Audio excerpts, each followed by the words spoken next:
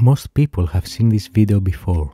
It was the assassination of Mahmoud al-Mabhouh, executed by Israeli Mossad operatives. That took place in his hotel in Dubai in 2010. Al-Mabhouh was the co-founder of the Azzedine al-Qassam Brigades, the military wing of Hamas, and that event took place in January of 2010. You might be wondering, how did he open his door and went into his hotel room?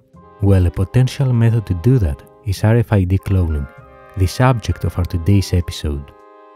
Welcome to Tradecraft Sunday.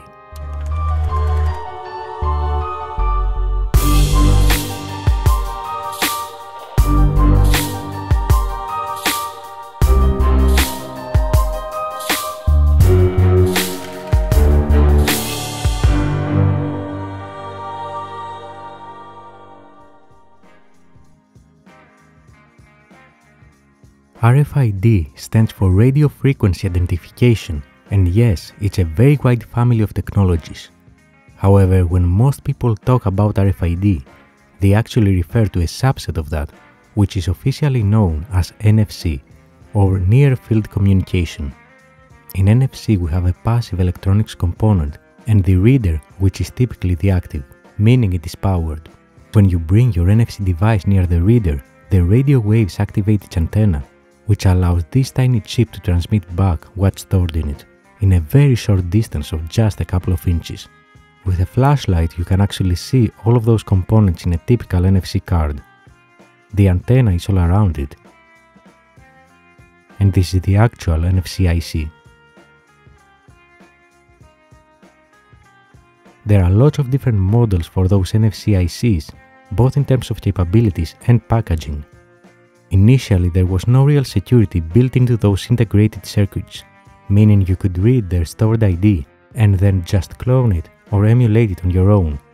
Nowadays, there are several gadgets that allow you to trivially do that. A popular one is this tiny device called Chameleon Ultra.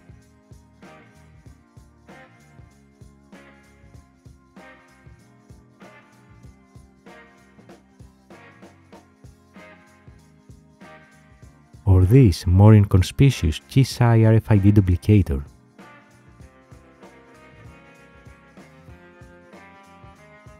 Here is how simple it is to clone such an RFID with Keysy for example.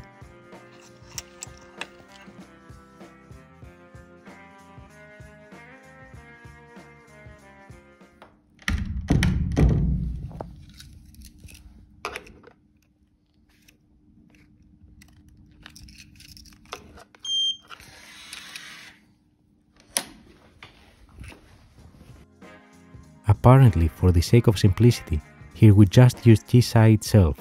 However, all of those gadgets allow you to write the cockpit identifier to blank card if you want to. A solution to this was to add cryptographic protection to those chips.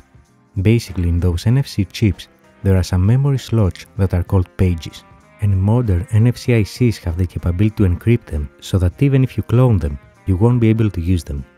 They'd be encrypted data, and without the password to decrypt them, they are of little value. Here is how this works for MIFARE, one of the most popular manufacturers. As you approach the card to the reader, the reader sends a signal for an authentication request, including the sector number and the authentication key identifier. The card responds either with a challenge or a pseudo-random number. The device decrypts the encrypted challenge using the shared secret key, the password basically, and compares it to the original challenge. If the decrypted challenge matches the original challenge, the authentication process is successful. There are several potential attacks here, but let's focus on a relatively simple one. Here we used another popular gadget that's more of a learning platform for people that want to start learning how RF works. It's called Flipper Zero.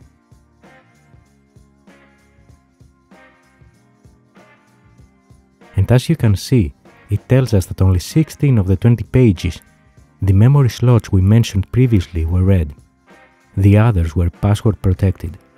How can we find this password, the shared secret key? As you've seen in the process explained, the reader has the secret key. So Flipper Zero could pretend to be a card on the reader to retrieve the key, and then use this key to unlock the locked pages on the card. here's how this looks like in practice.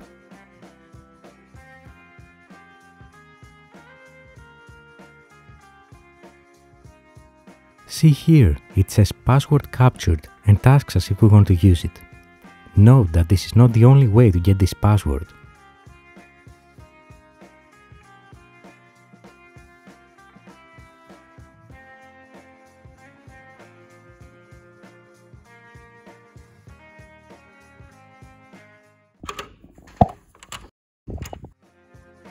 We could insert it manually, we could try a dictionary or brute force attack to discover it on our own, exploit a vulnerability in the implementation of this specific model, and so on.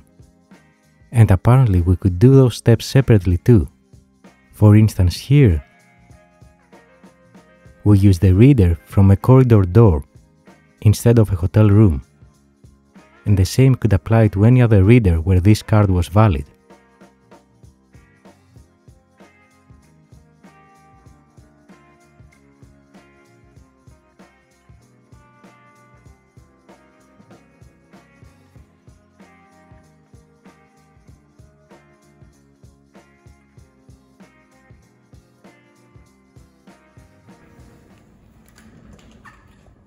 But as you can see, it works on the hotel room too, since the password was the same.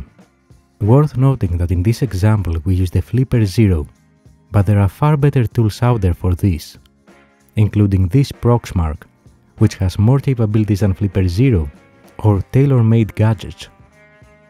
For example, here former hacker and cybersecurity expert Kevin Mitnick shows how he hid a large antenna for his reader to be able to clone a card just by sitting or passing by someone that has it on them. So what I noticed is that she actually had an access card dangling from her belt with her picture on it. So I asked her, I go, you know, can I take a look at that? So she takes it off her belt, she hands it to me, and then with my daily planner, I put it over it. I look, I look at her picture, I hand it back, and what she didn't realize is my daily planner that I was carrying was a special daily planner with a little bit of technology inside that was used to steal the card ID and the site ID so I could clone her card. There are many other options too. However, for most spies in the real world, it's more likely that they will just recruit someone with that level of access to get a key for them. It could be someone from housekeeping, reception, and so on that can easily program a keycard for them. Professional spies will only resort to methods like the ones we demonstrated here as a last resort since they are higher risk. Actually, in the Western world, those fall under a specific type of CMOE or covert methods of entry operations called close access operations since they require physical proximity to the target and deep technical expertise. Nowadays, those methods are commonly used by criminals, private investigators, and penetration testers, among others. For example, a rising technique for cars that rely on smart cards like those is the relay attack. We aren't going to dive deep into that, but here is how it works. They take a large enough antenna to capture the signal transmitted from the car key and then replay that near the car, making its computer think that the key is near the car and thus automatically unlock it. This could, and almost certainly is, a valuable CMOE technique for spy agencies too. Not only to break into cars to install bugs, search them, etc., but even to disable alarm systems, sabotage them for assassinations, and other similar activities. In terms of protection, we should always be using the latest and most secure models of those cards, avoid exposing them anywhere where they could be copied and using RFID blocking holders, wallets, and so on. Those RFID blocking devices are quite simple. In summary, they have a thin metal layer which absorbs the energy of the emitter, acting as a parasitic capacitance with the charge coil. This is changing the resonant frequency and thus preventing the read action. The domain of RFID hacking, as it's commonly referred to, is very large and constantly evolving. Here we've seen just a bare minimum to get an initial idea of what it entails and why nothing is as it seems.